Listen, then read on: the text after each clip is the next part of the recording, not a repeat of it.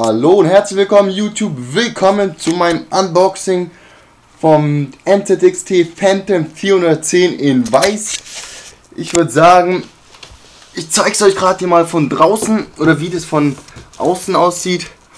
Also, gerade eben bekommen, es hat drei 5,25 Zoll Laufwerke, 6 3,5 und 7 Slots hinten, um Grafikkarten und so einzubauen. Dann hier Front hat es einen 120 mm Lüfter. Hinten sind nochmal zwei Stück. Aber ich zeige es euch nachher. Ist doch scheißegal hier, was hier eigentlich drauf steht. Nichts Interessantes. Zwei Jahre Garantie ist normal. Dann hier diesen Apparillo hier in allen möglichen Sprachen. Ist auch nichts Interessantes mit Wasserkühlung. Was ich mir wahrscheinlich auch bauen werde. Und dann hier seht ihr das. Sehr sexy USB 3.0. Ja, aber das zeige ich euch jetzt gleich. Also ich mache jetzt kurz Stopp und pack das ganze Ding aus.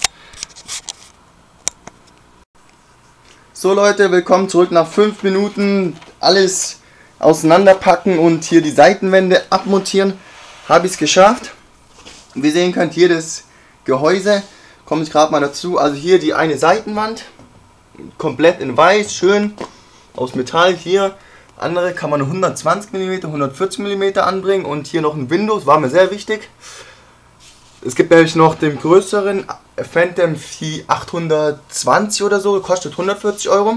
Wollte halt Windows, sonst hätte ich mir den gekauft. Dann hier die Front.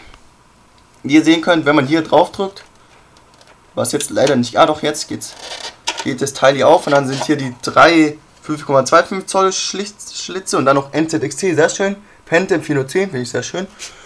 Hier, das wird ihr wahrscheinlich nicht sehen, aber ist auch egal. Dann hier unten die Lüftschlitze für den Lüfter hier vorne. Wie gesagt, ich glaube, das ist ein 120 mm. Dann hier die das ganze Gehäuse braucht man braucht keine Schrauben für das ganze Gehäuse, soweit ich weiß. Hier eben drei die 5,25 Zoll Schloff, die Dingerbumsel. Hier oben ist noch einer drin und da ist auch dann Platz für einen 240 mm Rator. Bei der Front hier oben, was ich auch so schön finde, bei meinen alten Phantom 820 Blue, weiß der Geier, war das hier vorne, war das immer mit dem Kabel und weiß der Geier, ein bisschen beschissen. Hier Lüftersteuerung, einkanalig, zweimal USB 3.0, muss natürlich auch die Kamera da drauf halten. Zweimal USB 2.0 und eben Mikrofon Ein- und Ausgang. Power äh, Knopf und Power und Reset Scheißdreck. LED Beleuchtung. Hier auch nochmal, wie ich gerade was sehe. Sehr schön. Kabelführung kann man auch sehr gut machen. Wie ihr sehen könnt, hier die Aussparung für Dinge nochmal anzubringen. Hier ah, Backblades bei Mainboard. Und ja, hier das Mainboard, äh, das, ähm, sag's mir. Das Netzteil wird unten angebracht, bei meinem alten wurde das hier oben angebracht, war ziemlich scheiße. Zu montieren auch. Dann hier, wie ihr sehen könnt, schön Lüfter oder Kabelmanagement-Führung. Hier haben, haben wir noch ein 4 Laufwerksschlitz oder 4 für 3,5 Zoll und 2, Zoll. Kann man ganz einfach rausziehen. Hier ist es dann für längere Grafikkarten ist dann geeignet. Hier könnte man, wenn man wollte, noch einen Lüfter dran machen. Wo ich aber auf keinen Bock habe, weil ich nur ein Lauf, eine Festplatte habe.